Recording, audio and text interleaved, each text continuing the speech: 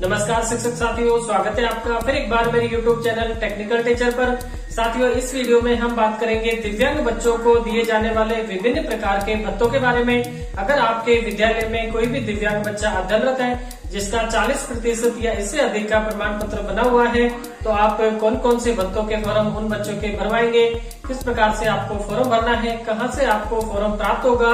कौन सा बच्चा किस फॉर्म के लिए योग्यता रखता है, इन सब की संपूर्ण जानकारी मैं इस वीडियो में आपको देने वाला हूँ। तो आइए साथियों, शुरू करते हैं।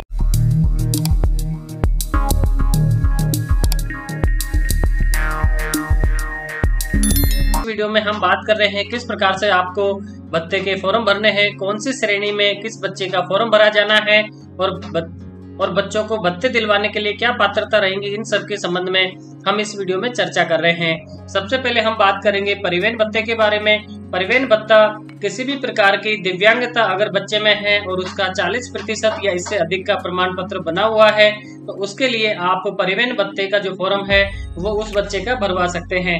इसके लिए आप फॉर्म में सबसे पहले बालक बालिका का नाम लिखेंगे, पिता का नाम, मोबाइल नंबर, जन्म तिथि, कक्षा उसका पता एस नंबर, उसके दोस्त का प्रकार और प्रतिशत आपको लिखना है। जो भी उसके मेडिकल सर्टिफिकेट में परसेंटेज लिखा हुआ है, वो आप परसेंटेज लिखें। उसकी जो भी डिसेबिलिटी है, उसका नाम आपको लिखना है। इसके बाद में आपको अपने पीओ का नाम ब्लॉक स्कूल आपका डाइस कोड इसके बाद में घर से विद्यालय की दूरी आप बच्चे की लिखें। इसमें दूरी की कोई बाध्यता नहीं है। अगर बच्चे का स्कूल बच्चे के घर के बिल्कुल पास में है तो भी उस बच्चे को पूरी राशि प्रदान की जाएगी। इसलिए आप दूरी की कोई बाध्यता नहीं है, आप एक्चुअल दूरी को यहाँ पर सबमिट करें। बच्चे का आधार नंबर लिखें, अगर आधार कार्ड बना हुआ है। उसके बाद में स्टूडेंट का अकाउंट नंबर आपको यहाँ पर लिखना है। इसके बाद आईएफएससी कोड बैंक का नाम ब्रांच इसके बाद में है वाहन का प्रकार, जिससे विद्यालय आने व जाने की व्यवस्था की जा सकती है। अब अगर बच्चे का घर विद्यालय से दूर है और बच्चा किसी वाहन से आता जाता है या फिर उसको वाहन से आने जाने की ज़रूरत है तो कौन सा वाहन हो सकता है, उसका प्रकार आपको यहाँ पर लिखना है। क्या अन्य पात्र बच्चे के साथ वाहन का साझा उपयोग हो सकता है? यदि हो तो बच्चे का नाम यहाँ लिखना है। अगर एक ही वाहन से दो बच्चे आ सकते हो इसके बाद में अनुमानित प्रति माह व्यय राशि, अगर बच्चा व्हीकल से आता है तो कितने रुपए उसके प्रति महीने के खर्च होंगे, उसकी अनुमानित राशि आपको यहाँ पर लिखनी है। अगर अनुमानित राशि का आपको पता नहीं है तो आप इसको ब्लैंक छोड़ सकते हैं। इसके बाद में है, क्या बालक बालिका घर से विद्यालय तक अकेले आने में असमर्थ है? यदि हाँ तो कारण व किसके द्वारा विद्यालय तक लाया ले जाया जाता है? अगर बच्चा अकेले विद्यालय आने में असमर्थ है अकेला विद्यालय नहीं आ सकता है तो उसका आप हाँ लिखें और किसके साथ में आता है, उसका भी आप यहाँ पर लिख सकते हैं। इसके बाद में है विद्यालय का एस एम सी खाता संख्या I F S C code, bank का नाम और ब्रांच। दोस्तों पॉइंट नंबर चौदह बहुत इंपॉर्टेंट है, क्योंकि एस एम सी के खाते में ही बच्चे की जो राशि है, वो डाली जाती है। इसलिए आप एस एम सी की जो अकाउंट डिटेल है, वो भली बात चेक करके ही आपको यहाँ पर सबमिट करनी है। उसके बाद में अभिभावक के हस्ताक्षर छात्र छात्रा के हस्ताक्षर आपको यहाँ करवाने हैं। अगर बच्चा हस्ताक्षर नहीं कर पाता है तो आप अंगूठा भी यहाँ लगवा सकते हैं। उसके बाद में है प्रमाणीकरण। इसमें संस्था प्रदान के द्वारा यहाँ पर प्रमाणीकरण करना है। बालक बालिका का नाम लिखे, उसकी कक्षा लिखें और उसके लिए परिवहन भत्ते हेतु प्रतिमा चार सौ रूपए प्रदान किए जाने की अनुशंसा करनी है। क्योंकि अभी हाल ही में चार सौ रूपए प्रतिमा परिवहन भत्ते के दिए जा रहे हैं। इसके बाद में संस्था प्रधान को अपने हस्ताक्षर करके विद्यालय की छाप यहाँ लगा देनी है। और कार्यालय उपयोग का जो फॉर्मेट है, इसको आप नहीं फिल करें। ये जिला कार्यालय या फिर ब्लॉक कार्यालय के द्वारा इसको फिल किया जाना है। इसी प्रकार से आप परिवहन भत्ते का फॉर्म है, उसको आप भर सकते हैं। इसके बाद में नेक्स्ट फॉर्म आता है एस्कोट भत्ता। एस्कोट भत्ता दोस्तों, उन बच्चों को दिया जाता है, जो बच्चे स्वयं विद्यालय आने में असमर्थ होते हैं। उनके अभिभावकों के द्वारा उन बच्चों को विद्यालय लाया ले जाया जाता है। उन बच्चों के लिए परिवहन भत्ता और उनके अभिभावकों के लिए एस्कोट भत्ता प्रदान किया जाता है। इस भत्ते में भी परिवहन भत्ते की तरह ही आपको पूरा फॉर्मेट भरना है और चार सौ रूपए प्रति महीने ही एस्कोट भत्ता बच्चों को दिया जाता है। इसमें एक बात का आप ध्यान रखें एस की जो डिटेल है वो आपको यहाँ फिल करनी है। उसके बाद में आपके पॉइंट नंबर चौदह में आपको कंपलसरी यहाँ पर हाँ फिल करना है। और हाँ लिख के किसके द्वारा लाया ले जाया जाता है, उसका विवरण या फिर आप उसका नाम यहाँ पर फिल करें। इसके बाद में प्रमाणीकरण संस्था प्रदान के द्वारा किया जाना है और सेम आपके परिवहन भत्ते की तरह ही आपको ये वाला फॉर्म भी फिल करना है। और दोस्तों, प्रत्येक भत्ते का जो फॉर्म है, उसमें 40 प्रतिशत का जो बच्चे का डिसेबिलिटी का कार्ड बना हुआ है मेडिकल सर्टिफिकेट वो आपको फॉर्म के साथ अटैच करना है।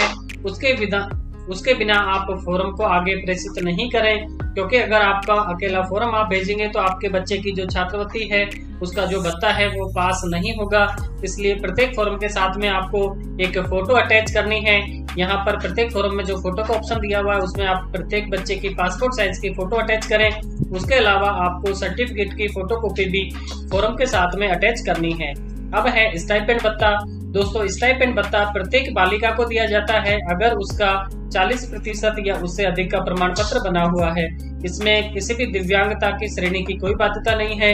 किस प्रकार के दिव्यांगता में किसी भी दिव्यांगता का 40 प्रतिशत का अगर बालिका का सर्टिफिकेट बना हुआ है तो कक्षा एक से बारहवीं तक अध्ययनरत राजकीय विद्यालयों में जो बच्चियाँ पढ़ रही हैं, उनको स्टाइपेंड भत्ता दिया जा रहा है।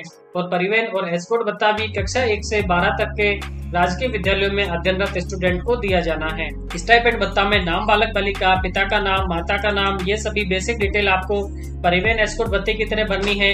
आप इसमें दिव्यांगता का प्रमाण पत्र, उसकी श्रेणी, आधार नंबर, खाता संख्या आईएफएससी कोड बैंक का नाम, ये सभी डिटेल आप परिवहन और एस्कोर्ट भत्ते की तरह ही फिल करें। इसके बाद में क्या बालिका का आधार कार्ड बैंक खाते से जुड़ा हुआ है? तो आप यस नो करें। और दोस्तों, बालिका के आपको यहाँ खाता संख्या आईएफएससी कोड और बैंक का नाम फिल करना है।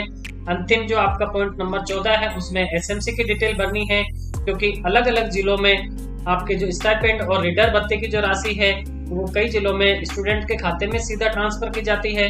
कुछ जगहों पर एसएमसी के अकाउंट में ट्रांसफ़र की जाती है। इसलिए आप बालिका के अकाउंट डिटेल भी आप यहाँ पर फिल करें। और आप इस एस की डिटेल भी फिल करें और आप अपने सीबीओ ऑफ़िस में स्पेशल अगर आपके कोई टीचर लगे हुए हैं तो आप उनसे सलाह ले सकते हैं। आप बालक बालिका के हस्ताक्षर, अभिभावकों के हस्ताक्षर और संस्था प्रदान का प्रमाणीकरण करके आप फॉर्म को कंप्लीट करें। इसके साथ पासपोर्ट साइज़ की फ़ोटो आपको अटैच करनी है और आपको मेडिकल सर्टिफिकेट की फ़ोटो कॉपी भी लगा देनी है। अब इसके बाद में नेक्स्ट है आपका रीडर भत्ता। रीडर भत्ता सिर्फ़ ब्लाइंड बच्चों को दिया जाता है। कक्षा एक से बारह तक पूर्ण दृष्टि बाधित बच्चे अगर अध्ययनरत हैं तो उस बच... तो उन बच्चों को रेडर भत्ता दिया जाना है। रेडर भत्ते में दोस्तों, दो सौ प्रति महीने की राशि प्रदान की जाती है और स्टाइपेंड भत्ता का जो फॉर्म है, इसमें प्रत्येक बालिका को दो सौ प्रति महीने की राशि प्रदान की जाती है। इन सभी भत्तों को एक साथ भी बच्चा प्राप्त कर सकता है। अगर बालिका है और वो ब्लाइंड है तो उस बालिका को बालिका के नाते स्टाइपेंड भत्ता ब्लाइंड की वजह से रीडर भत्ता और अगर वो विद्यालय अकेले आने में असमर्थ है तो उस बालिका को एस्कोट भत्ता और परिवहन भत्ता इस तरीके से चारों भत्ते उस बालिका को प्रदान किए जा सकते हैं। अगर बालक है और वो टोटल ब्लाइंड है तो उस बालक को तीनों भत्ते प्रदान किए जाएँगे लीडर भत्ता परिवहन भत्ता और एस्कोट भत्ता इसी प्रकार से अगर कोई बालिका ब्लाइंड नहीं है लेकिन उसकी अदर डिसेबिलिटी है तो उस बालिका को परिवहन एस्कोट और स्टाइपेंड तीनों भत्ते प्रदान किए जाने हैं। इसी तरीके से आपको सभी बच्चों के फॉर्म भरवाने हैं। रीडर भत्ते में भी आप परिवहन और एस्कोट भत्ते की तरह ही आपको पूरा फॉर्म भरना है। उसके बाद में संस्था प्रदान का प्रमाणीकरण करवाना है। पासपोर्ट साइज़ की बच्चे की फ़ोटो अटैच करनी है। और दोस्तों, प्रत्येक फॉर्म के साथ में आपको बालक बालिका के 40 प्रतिशत या इससे अधिक का जो प्रमाण पत्र बना हुआ है, उसकी कॉपी भी आपको साथ में अटैच करनी है। ठीक है, दोस्तों, इसी प्रकार से आप सभी प्रकार के बच्चों के फॉर्म भरें। आपको फॉर्म के लिंक वीडियो के डिस्क्रिप्शन में मिल जाएगी। आप वहाँ से डाउनलोड कर सकते हैं। अगर आपको वीडियो अच्छी लगे तो वीडियो को लाइक करें, अपने सभी ग्रुप्स में, सभी साथियों के साथ में शेयर करें। और अगर आपको चैनल पर दी जाने वाली जानकारी पसंद आती है तो आप चैनल को सब्सक्राइब करके घंटी वाले बटन में ऑल को सिलेक्ट करें, जिससे कि जब भी चैनल पर कोई नई वीडियो अपलोड हो, उसका सबसे पहले आपको नोटिफिकेशन मिल सके। फिर मिलते हैं ऐसी किसी महत्वपूर्ण वीडियो में। तब तक के लिए नमस्कार। जय हिंद, जय माँ भारती।